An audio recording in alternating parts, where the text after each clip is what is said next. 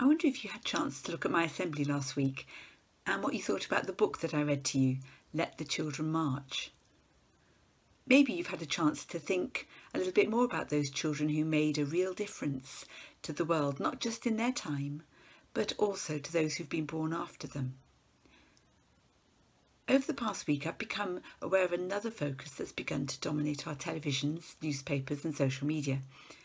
The attention on Black Lives Matter has given rise to concern about some statues that have been put up over the year commemorating people of significance. You may have seen some of them as you've visited different places in the past. Some of them um, celebrate people whose actions now cause us to question whether it's appropriate for them to be recognised in this way. Some people have actually gone further and pulled those statues down.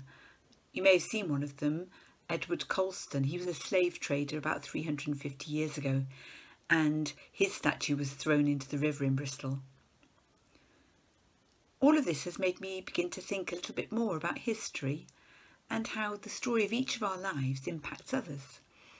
History is full of young people who've astounded the world with their thoughts and creations, and you may have heard of some of them. Greta Thunberg. She started out missing class so that she could go and protest for climate change in front of the Swedish Parliament. But she's ended up inspiring millions to demonstrate across the world. Or Malala, a little girl in Afghanistan who wasn't allowed to attend school because she was a girl.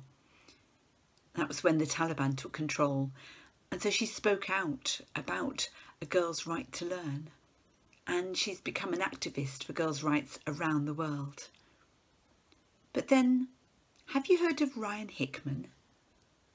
He was only three years old when he began to collect recycling from around his neighbourhood, but he now campaigns to keep plastic out of the ocean, and he's recycled 809,000 cans and bottles and donated over $10,000 to the Pacific Marine Mammal Centre. Or there's Jaylen Arnold. Jaylen always knew he was different and he was bullied for it. But then at the age of eight, he decided to take action on behalf of other bullied children. And he started a website for his classmates with the message, Bullying No Way. Jaylen's Challenge Foundation now has a programme that teaches kids how to recognise bullying and appreciate those who are different. These children and young people may not all have a statue to commemorate them, but what they've done in very different ways has made a real difference to the world in which we live. They are awesome. But everyone at Winslow Church of England School believes that each one of you is awesome as well.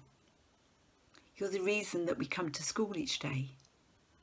And we want to inspire you to make a positive difference to our world. Have a look at the CBeebies message that I've posted. That'll give you uh, a similar message to what I'm saying, but a belief that all of you can make a difference. You are all very different, but we believe in you, each one of you.